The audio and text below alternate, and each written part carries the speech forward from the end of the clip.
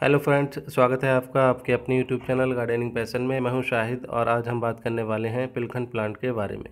आज हम आपको बताने वाले हैं कि पिलखन प्लांट को आप किस तरीके से बोनसाई बना सकते हैं। इसको बोनसाई बनाना बहुत ही ज़्यादा आसान है तो आप इस वीडियो को एंड तक देखिएगा ताकि आप भी आसानी से इसको बोनसाई बना सकें। तो चलिए शुरू करते हैं आज का वीडियो और बात करते हैं पिलखन प्लांट के बारे में। देखिए मेरे पास ये पिलखन का एक प्लांट है, जिसको हम पाकड़ भी बोलते हैं। ये प्लांट फाइकस फैमिली को ही बिलोंग करता है और आप जानते हैं फाइकस के बोनसाई कितने ज़्यादा ब्यूटीफुल लगते हैं। तो आज हम इसी को बोनसाई बनाने वाले हैं। ये प्लांट लगभग एक साल पुराना है और मैंने इसको एक बोतल को कट करके इसमें रखा है।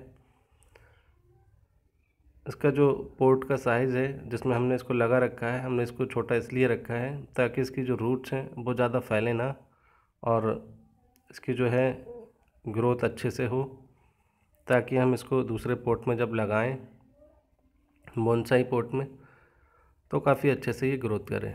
इसलिए हमने इसको छोटे से कंटेनर में लगा रखा है। और इसकी ग्रोथ देखिए कितनी अच्छी चल रही है। आप देख सकते हैं, इसकी जो ब्रांचेस हैं, न्यू न्यू ब्रांचेस भी निकल चुकी हैं इसमें। इसकी तीन ब्रांचेस हैं मेन। और साइड से भी एक दो तो ब्रांच निकली हुई है इसमें। और काफ़ी ज़्यादा इस पर जो लीव्स हैं वो भी हैं, आप देख सकते हैं।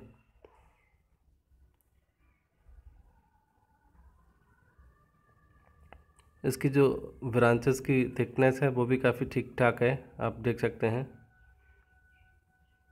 ज़्यादा कुछ हमें इसमें नहीं करना है। बस इस, ये जो स्टेम्प्स हैं ब्रांचेस हैं, वो पास पास हैं, इनको हम दूर करेंगे एक वायर की सहायता से। हमारे पास देखिए वायर है एलुमिनियम का। इसी की मदद से हम इन ब्रांचेस को थोड़ा सा दूर करेंगे। तो चलिए कर लेते हैं ये काम।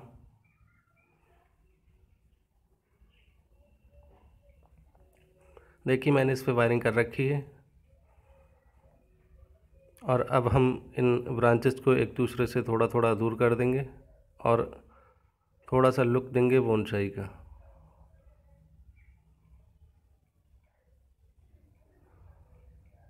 वायर हमें ऐसा लेना है, ना ज़्यादा मोटा हो, ना ज़्यादा पतला हो स्टैम्प्स के हिसाब से ही हो। अगर स्टैम्प्स आपकी पतली है तो पतला वायर लेंगे और अगर अगर स्टैम्प्स मोटी है तो मोटा लेंगे।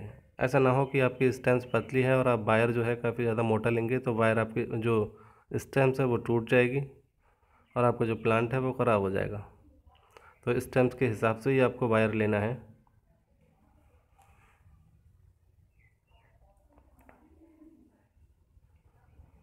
और बोनसाई प्लांट में आपको जो है वाटरिंग इतनी ज़्यादा करनी नहीं होती है। और बनाए भी ऐसे ही प्लांट जाते हैं बोनसाई जिसमें पानी की ज़्यादा ज़रूरत ना होती, नहीं होती है।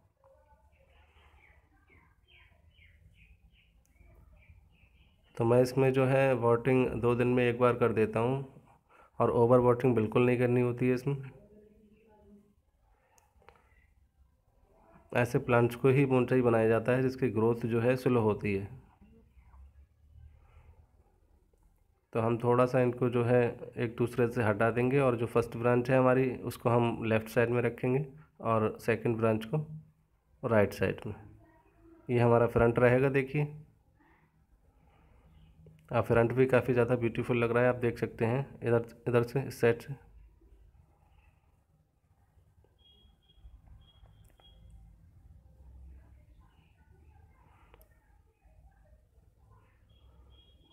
अभी तो ये उतना ज़्यादा जो है लुक उस टाइप का नहीं आ पाएगा, क्योंकि अभी हमने वायरिंग की है और कुछ महीनों के बाद इसमें जो है ग्रोथ हो जाएगी अच्छी। तब इसकी जो है लुक और भी ज़्यादा अच्छा लगेगा, जब इसकी स्टैम्प्स जो है मोटी हो जाएँगी, थोड़ी थिक हो जाएँगी। अभी हम इसकी प्रूनिंग भी नहीं करेंगे क्योंकि इसकी जो ब्रांचेस हैं वो छोटी हैं। जब ये ब्रांचेस बड़ी हो जाएँगी, तब हम इसकी जो है कटिंग करेंगे।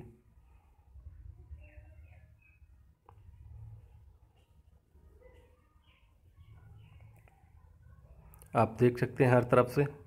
इसका एक जो लुक है, वो बोनसाई लुक आ चुका है इसमें। तो है ना दोस्तों कितना ज़्यादा आसान बोनसाई बनाना? अगर आप चाहते हैं कि आप अपने प्लांट को बोनसाई बनाएँ तो इस तरीके से आप अपने प्लांट को बोनसाई बना सकते हैं। तो कैसा लगा आज का हमारा वीडियो? अगर वीडियो आपको पसंद आया है तो वीडियो को लाइक करें और हमारे चैनल को सब्सक्राइब ज़रूर करें और जितना हो सके इस वीडियो को शेयर करें। Thank you for watching